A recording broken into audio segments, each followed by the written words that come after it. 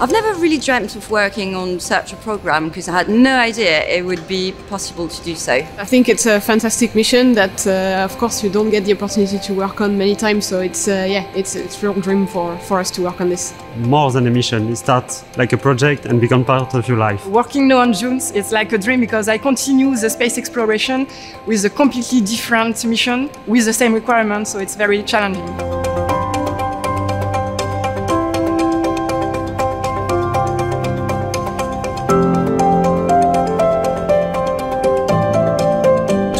Work uh, on a project that uh, is at the top of the technology that, that we need to achieve to go to Jupiter and do this science mission.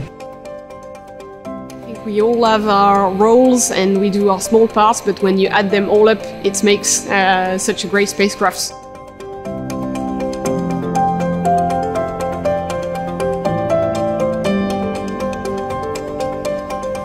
We have a spacecraft that probably will performs beyond the expectations of the scientists. We are still searching for life around and trying to discover spaces and compounds we, we have no clue yet.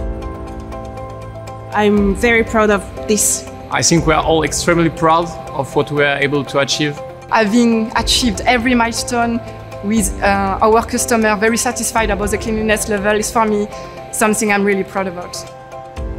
When we arrive at Jupiter and the scientists uh, get uh, the results that they are asking for. I'm really, really proud uh, when I'm with my two little boys looking at Jupiter and the sky and telling them, uh, look, honeys, this is where we are going. What I like uh, the most is this uh, perfect balance between very young and proactive engineers and uh, experts.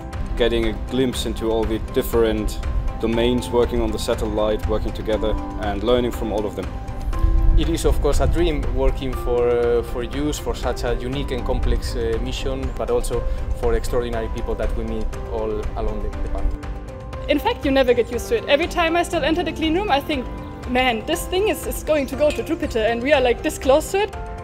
As a European, I'm even more proud of it because uh, it's going to be the first European mission to Jupiter. I can just say we're going, we're going to Jupiter.